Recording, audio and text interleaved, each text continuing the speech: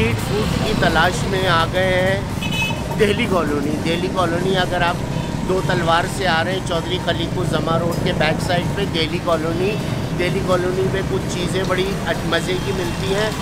तो हम वो खाएँगे और बकरा ईद आने वाली है। प्लीज़ जब आप कुर्बानी करें तो सफ़ाई का ख़ास ख्याल रखें।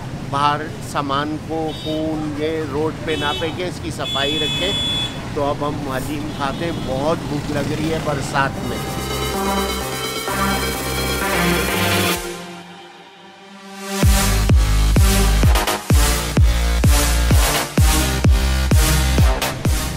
बॉस क्या हाल है? वालेकुम अस्सलाम आप बताइए मैं, मैं ठीक हलीम। चिकन का है बीफ का? चिकन चिकन हलीम में टेस्ट ही बनता है तो ये बीफ का है। चिकन हलीम कोई चीज़ भी नहीं होती। नहीं अच्छा बहुत देसी आइटम मोस्टली जो है वो बीफ में ही और ये कितने साल पुरानी है आपकी जगह? ये ऑलमोस्ट फोर्टी ईयर्स पुरानी है। 1984 से।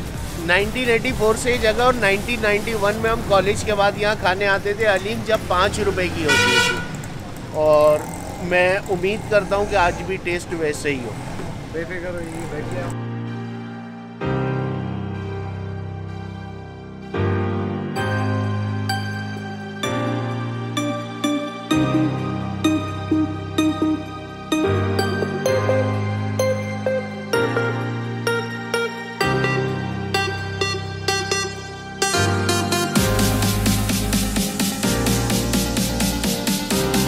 हलीम हमारा आ गया और ये हलीम का सारा सौदा अदरक धनिया लाल मिर्च हरी मिर्च और जो हलीम का गरम मसाला और ये नींबू ये इस पर छिड़का हमने नींबू। ये हमने हरी ये हमने हरी मिर्च प्याज अदरक धनिया। और ये मसाला। उए उए। पहले ऐसे ही ट्राई करते हैं। सारी चीज़ों के साथ बिस्मिल्लाह रहमान रहीम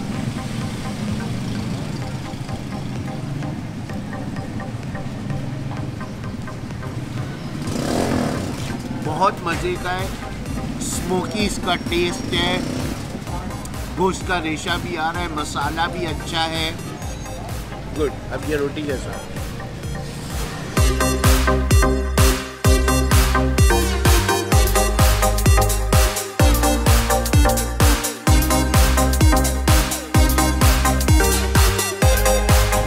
हमारे एक दोस्त है फरहान नाम है वो बैंकर है। उन्होंने पाँच साल बाद मुझे ये बात बताई कि वो मुझे पसंद इसलिए नहीं करते कि उन्होंने मुझे, उनके घर में हलीम की दावत की और मैं रोटी के साथ खा रहा था। वो हिंदुस्तान के शायद किसी ऐसे मखसूस इलाके के हैं माइग्रेट किए हुए, जहाँ पे हलीम के साथ रोटी नहीं खाई जाती। उन्होंने कहा, यार, तू बहुत गरीब निकला। आई एम सो डिसअपॉइंटेड उन दोस्त का नाम है फरहान नकवी।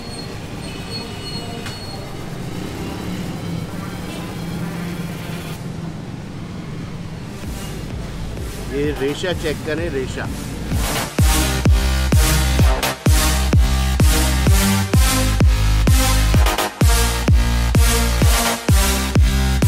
कराची का ये अलमिया है।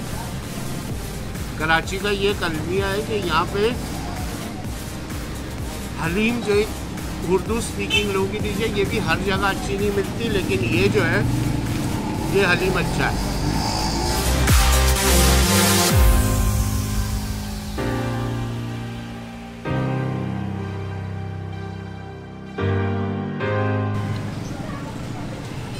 मुझे याद है जो 90s में इसका टेस्ट होता था, पाँच रुपए का हलीम और आटने की रोटी मिलती है।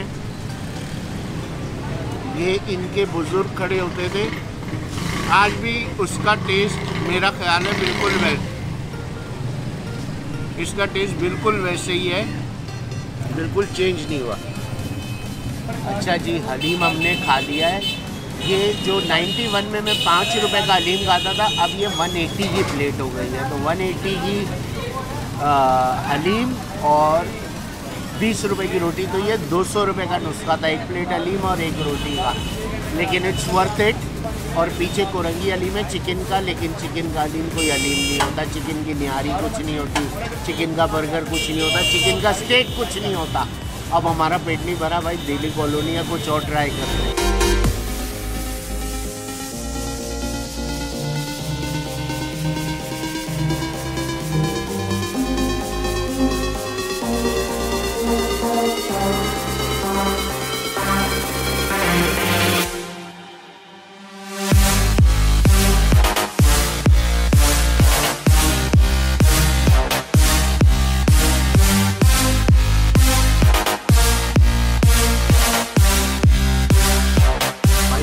खाया था, पेट भरा नहीं, पेट है बड़ा।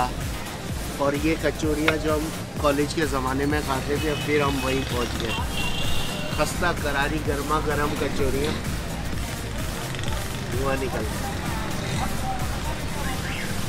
आलू की तरकारी और ये साथ अचार।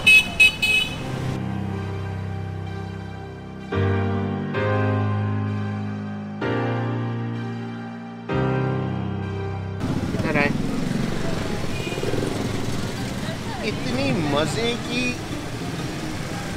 मज़े की ये कचौरियाँ ना।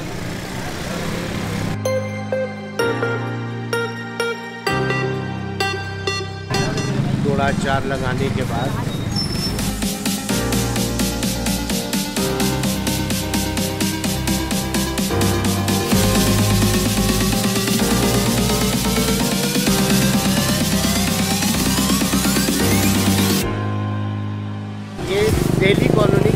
सबसे पुरानी कचौरी है, ये थर्ड जनरेशन है, जो ये काम कर रहे हैं और इनका टेस्ट वैसे ही है जो 30 साल पहले मैंने खाया था। अब ये दस रुपए की हो गई, मैंने पहली दफ़ा खाया था आठ आने